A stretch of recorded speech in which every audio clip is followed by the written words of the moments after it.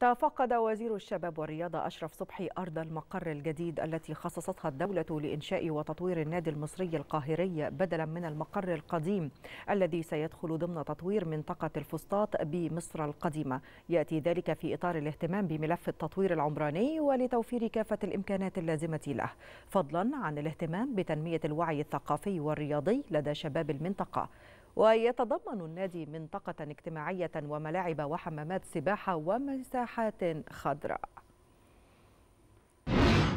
إن شاء الله نادي المصري القاهري اللي عضويته دلوقتي فيها 19200 إن شاء الله هيكون حاجة أكبر بكتير مع تصميم. في كل المنشآت الرياضية في حمام سباحة أولمبي وفي مجمع حمام سباحة أصغر ترفيهي وفي يعني ملعب قانوني كرة قدم وفي صالة رياضية ومنطقة اجتماعية كبيرة جدا اللي بيها إضافة تانية كبيرة جدا للتطوير الشامل. حياة كريمة هي مفهوم ومضمون. حياة كريمة مش بس تطوير الريف المصري.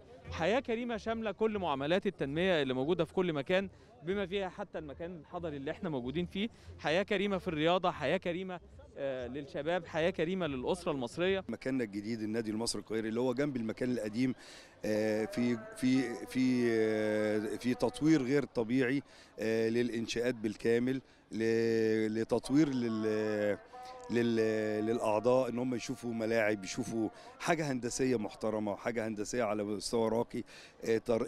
النادي المصري القاهري في طوبه الجديد يختلف غير عن النادي المصري القاهري في المكان القديم بتاعه. هنلاقي ملاعب على مستوى عالي هنلاقي حمامات سباحة على مستوى عالي هنلاقي مباني ومكاتب إدارية صالات للأفراح وللمناسبات على مستوى عالي.